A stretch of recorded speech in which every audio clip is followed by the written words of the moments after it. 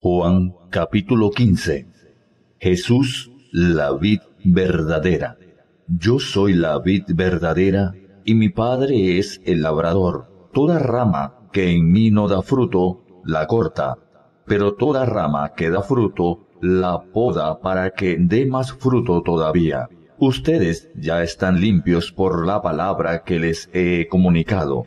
Permanezcan en mí y yo permaneceré en ustedes Así como ninguna rama puede dar fruto por sí misma, sino que tiene que permanecer en la vid, así tampoco ustedes pueden dar frutos si no permanecen en mí.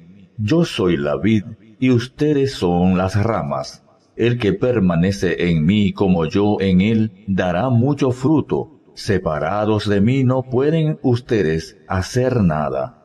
El que no permanece en mí es desechado y se seca como las ramas que se recogen se arrojan al fuego y se queman. Si permanecen en mí y mis palabras permanecen en ustedes, pidan lo que quieran y se les concederá. Mi Padre es glorificado cuando ustedes dan mucho fruto y muestran así que son mis discípulos. Así como el Padre me ha amado a mí, también yo los he amado a ustedes, permanezcan en mi amor. Si obedecen mis mandamientos, permanecerán en mi amor, así como yo he obedecido los mandamientos de mi Padre y permanezco en su amor. Les he dicho esto para que tengan mi alegría y así su alegría sea completa. Y este es mi mandamiento, que se amen los unos a los otros como yo los he amado. Nadie tiene amor más grande que el que da la vida por sus amigos. Ustedes son mis amigos si hacen lo que yo les mando.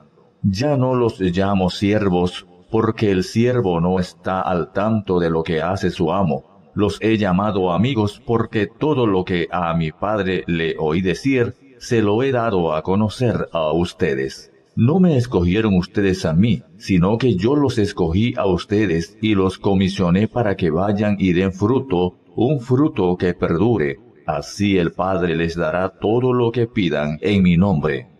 Este es mi mandamiento, que se amen los unos a los otros.